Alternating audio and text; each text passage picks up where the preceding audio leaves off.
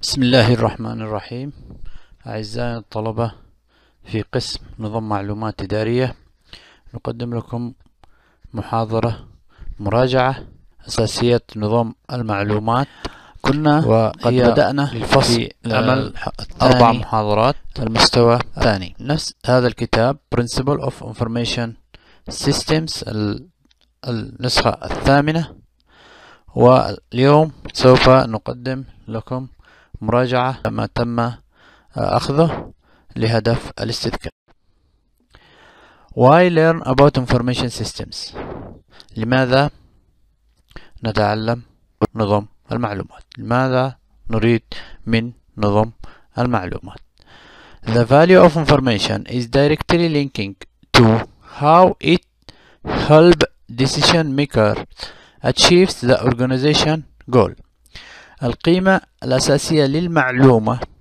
Informations is directly linking. ترتبط ارتباط مباشر لتساعد صانعي القرار في تحقيق أهداف المنظمة. عرفنا الآن أهمية المعلومة بالنسبة لصانعي القرار.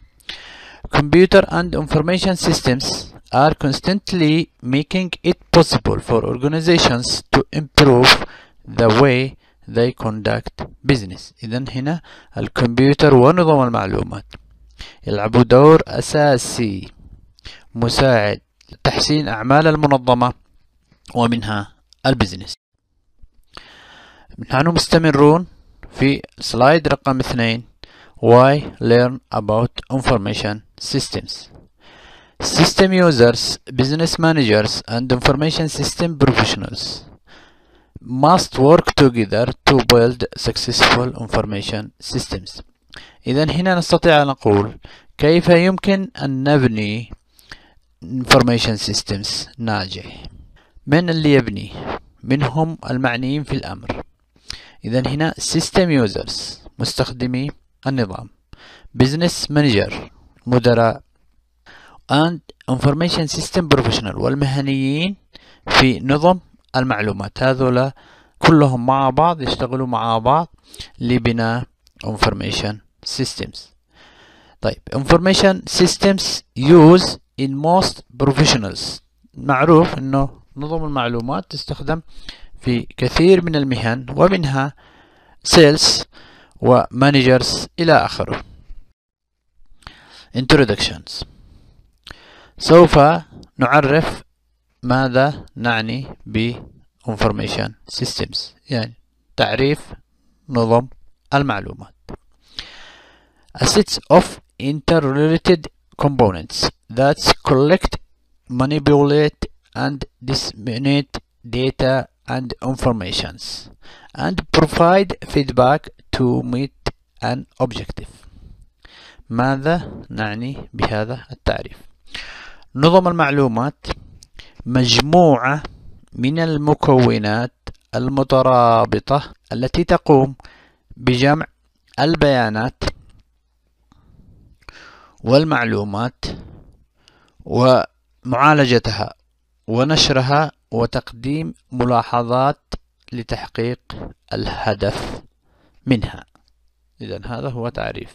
مجموعة من المكونات المترابطة التي تقوم بجمع البيانات والمعلومات ومعالجتها ونشرها وتقديم الملاحظات لتحقيق الهدف المطلوب منها. هناك أمثلة كثيرة لنظم المعلومات على سبيل المثال ATM Airline Reservation Systems Course Reservation Systems إلى آخره. Information Concepts. Information is one of an organization's most valuable resources. إذا المعلومة is one of an organization's most valuable resources. يعني إيش نقول هنا؟ إنه المعلومة هي المصدر مهم وأساسي لمن؟ للمنظمات. لابد أن نميز ما بين ماذا نعني بال informations المعلومات وماذا يعنى بال data هنا نفرق ما بين ال data هي عبارة عن raw facts والمعلومة اللي هي عبارة عن collections of fact organized in such way that they have value beyond the fact themselves. نقصد بالداتا هي عبارة عن حقائق. بينما المعلومة هي عبارة عن تجميع لهذه الحقائق. على سبيل المثال درجات مادة نظم المعلومات. اللي ندرسها الآن أساسيات نظم المعلومات. عندما نجمع الدرجات فإحنا نكون معنا درجات أعمال الفصل درجات اختبار درجات مشاركة. هذه كلها عبارة عن بيانات ودرجات الاختبار النهائي. عندما نجمعها في شيت كاملة ونظهرها في شكل معين تصبح هي عبارة عن معلومات معلومات عن درجات الطلاب. تستطيع أن ترتبها حسب ما تريد أنت. طيب data and information. شوف هنا مثال. Defining and organize relations among data created informations. يوضح لك كيف يمكن ال data توصلها إلى المعلومة. ال example A هو عبارة عن بيانات. هذه بيانات. شوف هنا هذا القصر اللي عمله هنا. ربط ما بين هذا الجزء وهذا الجزء سماه عبارة عن إيش؟ هذا هو المعلومات. اذا هنا داتا قد تم معالجتها وأصبحت بشكل إيش؟ بشكل معلومات مترابطة the value of information again value of information نعيد ما تكلمنا حوله حول المعلومة قيمة المعلومة is directly linked to how it help decision maker achieve their organization goal يعني قيمة المعلومة ترتبط ارتباطا مباشرا. كيف يمكن أن تساعد صانعي القرار لتحقيق أهداف مؤسساتهم؟ For example, value of information may be measured in. ربما تقاس قيمة المعلومة بالتالي. Time required to make decisions. الزمن المسته... المطلوب لاتخاذ القرار. Increase profits to company زيادة أرباح الإيش المنظمة أو الشركة. System concept. Systems a set of elements or components that interact to accomplish goal. إذا نقصد هنا بال system هو عبارة عن مجموعة من العناصر أو المكونات التي تتفاعل لتحقيق الأهداف. هذا نقصد فيه ال system اللي هو المعنى الأساسي للنظام. هناك مجموعة من ال components في ال systems. اللي نقصد فيه بها ال inputs اللي هي المدخلات وال processings اللي هي عملية المعالجة وكيف إنه النظام يعالج هذه المدخلات. ال outputs ما هي مخرجات ال processings اذا inputs processings outputs. هناك أيضا feedback مثال. هذا الشكل يوضح components of systems. شوف هنا. كار سيارة في بها أوساخ. دخلت إلى كإنبوتس إلى التنظيف مرحلة التنظيف. نسميها processing. إذا هنا inputs processings شوف كيف خرجت بشكل outputs. هذا هي component of systems. طيب هنا في حاجة اسمها معانا feedback. Feedback هنا لابد إنه نحصل على feedback. كيف كان العمل؟ الهدف من الفيدباك هو تحسين العملية. إذا what is an information systems يمكن أن يكون في هذا الشكل. Information systems يحوي على مجموعة من الكومبوننتس inputs processings outputs and feedback سوف نشرح هذه المصطلحات inputs processings output feedback input activity of gathering and capturing raw data هي عبارة عن نشاطات لعملية تجميع الرو ديتا المدخلات. هي عبارة عن مجموعة من المدخلات تدخل على ال system. ال processing العمليات. converting or transforming data into useful outputs. إذا هي اللي تعمل عملية إيش؟ تحويل هذه ال raw fact أو هذه البيانات تحولها إلى بيانات مفيدة. Output. المنتج. إذا هنا المنتج of useful information. إذا المنتج بشكل معلومة. إيش إيش إيش المنتج؟ usually in the form of documents and reports. قد يكون في شكل documents أو قد يكون في شكل تقارير.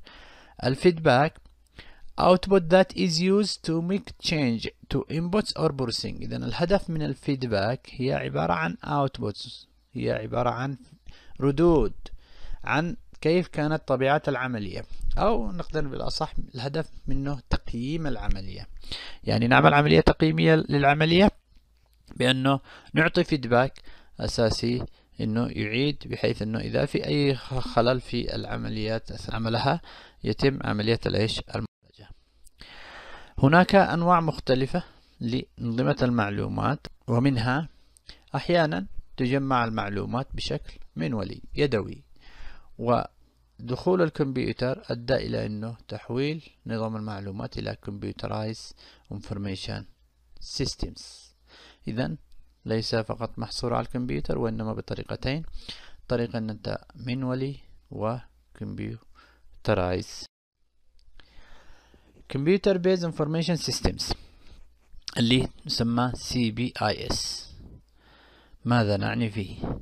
A single sets of hardware software database telecommunication people and procedures that are configured to collect store and process data into information إذا مجموعة من الأجهزة والبرامج وقواعد البيانات والاتصالات والأشخاص والإجراءات التي تم تكوينها لجمع البيانات وتخزينها ومعالجة لتصبح معلومة إذا هذا هو عبارة عن computer based systems هو عبارة عن collection من ال hardware ماذا أريد أنا من ال hardware ما نوع الهاردوير اللي اشتوه ما هو ال software اللي يشتي يعالج فيه هذه البيانات؟ أين تكمن قواعد البيانات؟ ما هي وسائل الربط واتصال ما بين قواعد البيانات؟ وما بين هذه ال devices من هم الأشخاص المستخدمين أو يتعاملوا مع قواعد البيانات؟ أنت ما هي الإجراءات؟ لابد أيضا من إجراءات الإجراءات المناسبة لتنفيذ نظم المعلومات. That is configured. إذا كل هذه الأشياء تجمع وتخزن وتعالج لتصبح. هنا example ل computer based information system أمثلة. hardware software البرمجيات اللي يمكن تستخدم. هنا قواعد البيانات. وهنا آه، وسائل الاتصال. هل هي عبارة عن wire أو هي عبارة عن wireless وهنا المستخدمين أو المنفذين لهذه البيان المعلومات. وهنا لابد من إجراءات. أحيانا قد تتطلب إجراءات قانونية معينة أو إجراءات أنظمة ولوائح تنظم العمل. Business Information Systems نظم المعلومات التجارية. Most common types of information system used in business organizations. إذا هنا معظم أنظمة المعلومات تستخدم في تنظيم الأعمال في المنظمات التجارية. إذا إيش الهدف منها؟ إنه إيش؟ تنظم الأعمال في المنظمات التجارية. كثير من هذه الأمثلة موجودة. على سبيل المثال Electronic and Mobile Commerce Systems اللي هو النظام التجارة الإلكترونية. Transactions Processing System نظام معالجة الحوالات إلى آخره. Management Information Systems إدارة نظم المعلومات. ال decision support systems نظام دعم القرار. إذا هذه هي أنظمة مختلفة. إيش الهدف منها؟ تستخدم في تنظيم الأعمال في المنظمات التجارية. electronic and mobile commerce ماذا نقصد في e-commerce e-commerce تجارة الإلكترونية نحن الآن في عالم تصبح التجارة الإلكترونية هي ربما من المصادر المهمة للعمليات التجارية. إذا any business transaction executed electronical between parties such as مجموعة من البزنس. إذا التجارة الإلكترونية أي transaction أي معاملة تجارية يتم تنفيذها إلكترونيا بين أطراف. مثل companies between companies شركات شركات. business to business يسموها B2B companies and consumers ما بين ال business والمستهلك عادة يسموها B2C consumers and other consumers ما بين المستهلكين. فيسموها C2C business and public sectors. ال business مع القطاع العام و consumers and public sectors والمستهلكين والقطاع العام. Transaction Processing Systems أنظمة معالجة الحوالات وهو أحد الأنظمة التي تساعد في تنظيم الأعمال. ماذا نعني أولا بالترانزاكشنز transaction any business related change such as payments to employee. إذا إيش نقصد بالترانزاكشن هنا؟ التحويلات التجارية. أي تبادل تجاري. Any business related change أي تبادل تجاري. على سبيل المثال المدفوعات للموظفين أجور الموظفين. uh, sales to customers والمبيعات and payment to supplier والمدفوعات للموردين. إذا هذه نقصد فيه ال transaction أو نقصد فيها التحويل التجاري أو الحوالات إيش؟ الحوالات التجارية. Transaction processing systems الآن النظام اللي ينفذ هذه ال transactions. إذا نظام معالجة الحوالات an organized collection of people procedure software database and device used to record complete business transactions إذا again نظام معاملة الحوالات اللي هو Transactions Processing Systems TPS عبارة عن تجميع منظم من الأشخاص والإجراءات والبرامج وقواعد البيانات والأجهزة التي تستخدم لتسجيل وخزن واحتفاظ بهذه الحوالات التجارية. إذا هو عبارة عن collections من كل هذه الأشياء. payroll transaction processing systems نظام مثلا نظام معالجة معاملات كشف الرواتب. ما هي البيانات اللي يمكن أن تستخدم في هذا النظام لكي نحصل على معلومات واضحة. إذا هنا ساعات العمل بايرت إذا ساعات العمل وكم الدفع بأجور الساعات. شوف هنا هذه inputs تدخل على النظام اللي هو هذا النظام. By role. Transactions processing النظام يقوم بمعالجة البيانات. يحسب كم عدد كم الساعات للموظف وكم أجر الساعة. يطلع لي إجمالي تشيت بالأجور الموظفين. Enterprise Resource Planning أي منظمة يفترض أن تمتلك ما يسمى بال ERB اللي هو تخطيط موارد المؤسسة. يفترض أن يكون هناك في تخطيط لموارد المؤسسة ماذا نقصد بال ERP Assets of Integrated Programs that manage the vital business operations for an entire multi-sites global organizations إذا نعني بال ERP هو عبارة عن مجموعة متكاملة إذا مجموعة متكاملة من البرامج إذا برامج متكاملة التي تدير عملية الأعمال الحيوية للمؤسسات العالمية ولها مواقع متعددة. يعني إذا عبارة عن إيش؟ مجموعة من البرامج. عندما نبني مثلا على مستوى مثلا إطار الجامعة مثال عندما نقول نظام شؤون الطلاب نظام الموظفين نظام الأجور نظام نربط هذه الأنظمة مع بعضها البعض وإذا اكتملت على مستوى المؤسسة كامل فهنا يمكن أن تكون تحت رابط مسمى ERB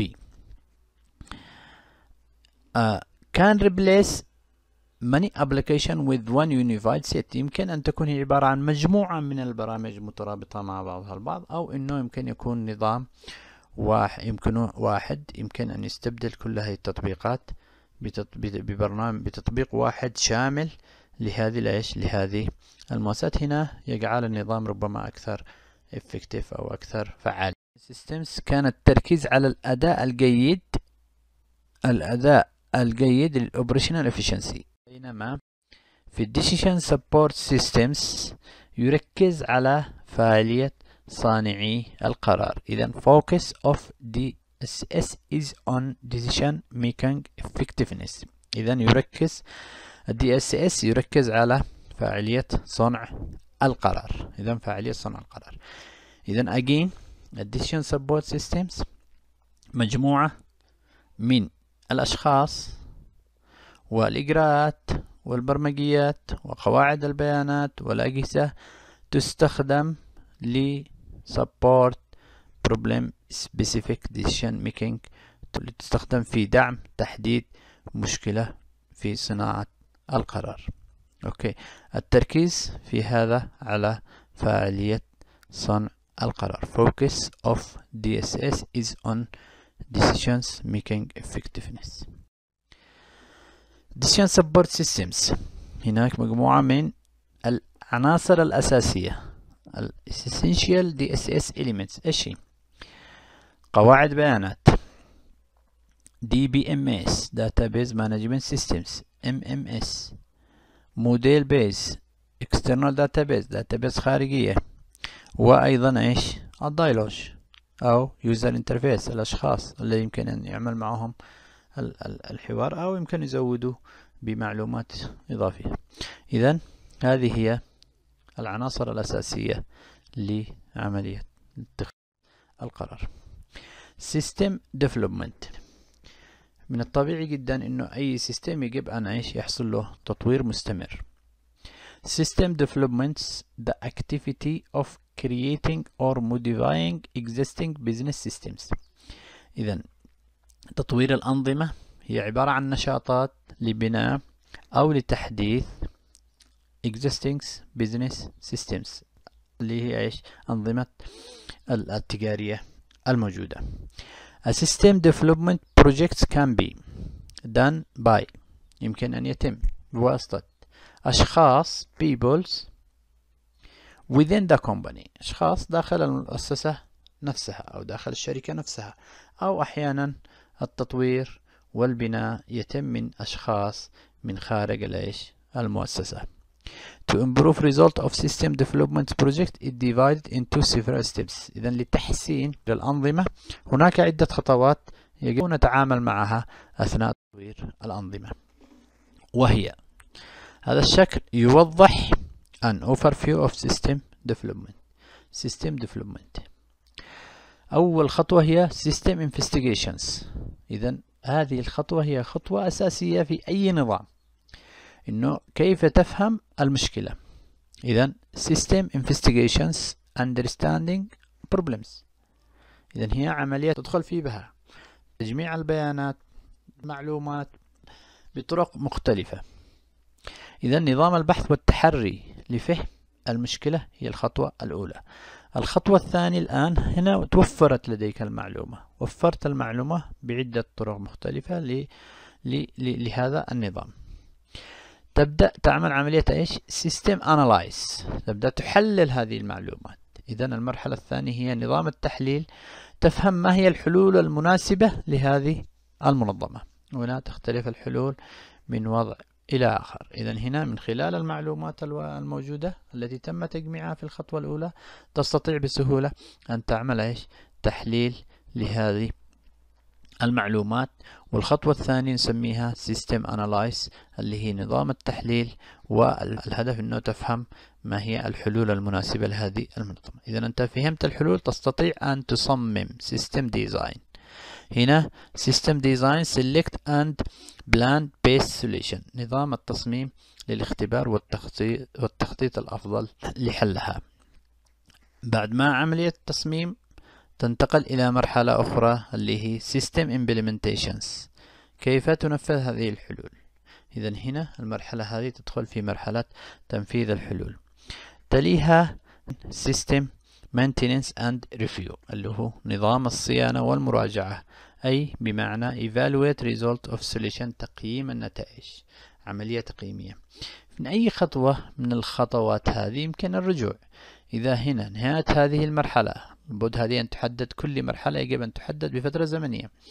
إذا نهاية هذه المرحلة وجود هناك عجز أو نقص في بعض البيانات أو المعلومات التي تم تجميعها يمكن الرجوع إلى هذه المرحلة لتجميع المعلومات.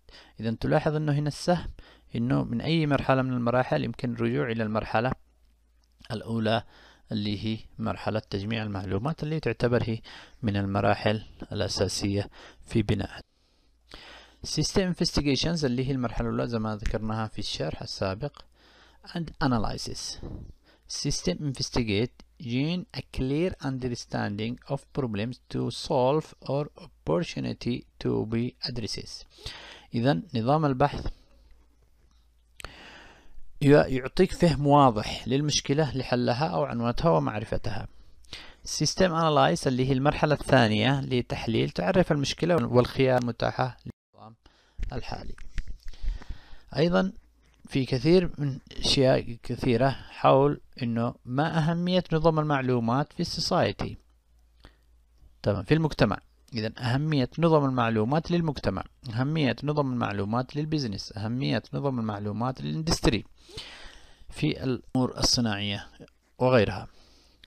okay إذا نتكلم هنا على information system must be implemented thoughtfully and carefully. بمعنى يجب أن ينفذ نظام المعلومات وبعناية ودراسة واضحة. نظام المعلومات information system face a variety of threat from unethical people. قد يتعرض نظام المعلومات أو يواجه مجموعة من التحديات. تكون التحديات من الأشخاص الغير مخولين بالتعامل معه. يعني هناك مجموعة يجب أن تحس أن هناك مجموعة من التحديات قد تواجه بناء نظام معلومات. هنا دراسة آه، محددة وموجودة في الكتاب حول the cost and cause of computer attack. إيش الكلفة اللي حصلت والمشاكل التي تسببت في اختراق الكمبيوتر خلال فترة محددة. شوفنا مجموعة من الاختراقات اللي يمكن أن تحصل للايش؟ للكمبيوتر أو لل systems ال security وال privacy and ethical issue in the information systems and internet. هنا دراسة سابقة. فأول هي عبارة عن سرقة الملكية. يعني سرقة الملكية حقوق الملكية سواء على مستوى الأنظمة أو على مستوى آخر. اثنين الحرمان من الخدمة. Denial of services. هذه هي عبارة عن أحيانا يدخل هاكرز يقوم بعملية توليد آه، معلومات معينة في نظامك بحيث أنه يمنعك أو يمنع الآخرين من الحصول على الخدمة. فيروس اللي هي الفيروسات أنواع مختلفة من الفيروسات. وأيضا إساءة استخدام الإنترنت الاحتيال المالي ولابتوب ثيفت سرقة أجهزة اللابتوبس أو الأجهزة المحمولة. وأيضا اختراق النظام أو التنصت تنشيط التنصت والدخول الغير مخول والتنصت أيضا إيش؟ عن بعد كل هذه مشاكل تهديدات لنظام المعلومات. فيجب الحذر والانتباه Information Systems in Area of Business. نستخدم أيضا نظام المعلومات في البزنس. Finance and Accounting. Sales and marketing. Manufacturing. Human resource management. Legal information systems. إذا هذه نستخدم نظام المعلومات في كثير من هذه الأريا. المحاسبة والمالية. وأيضا المبيعات والتسويق. في التصنيع. في إدارة الموارد البشرية. في نظم المعلومات القانونية. Information System Industry على سبيل المثال. Airline Industry. Investment Firms. Banking. Transportation Industry. Population Companies. إذا في ال airline في الخطوط التصنيعية. في عملية ال investment وال banking. أو في عملية ال transport. وأيضا في ال company Information System in Industry في ال health care Organization في المنظمات الصحية Retail Companies Power Management and Utility Companies وال professionals التحديات العامة لنظم المعلومات ف global Challenges in Information Systems التحديات العامة لنظم المعلومات Product and Service Challenges. تحديات المنتج والخدمة. ما هو المنتج؟ وكيف تقدم الخدمة؟ كيف توصل الخدمة إلى المستهلكين؟ وما هو أفضل منتج يمكن أن تمنحه لهم؟ technology transfer issue تغيير التكنولوجيا. تطور التكنولوجيا على مستوى يعتبر تحدي لنظام المعلومات. State regional and national law القوانين المحلية أحيانا أو الإقليمية والعالمية. هي مؤثرة أحيانا على نظم المعلومات. تمام. ربما قد تتغير القوانين في السماح باستخدام نظام المعلومات إلى حدود معينة. وال trade agreements أيضا العقود التجارية ما بين المنظمات. هناك أيضا تحديات أخرى مثل cultures challenges اختلاف الثقافات ما بين الدول. إذا هذه تعتبر نوع من التحدي. Language challenges. تحديات اللغة. وأيضا time and distance challenges. تحديات الوقت والمسافة.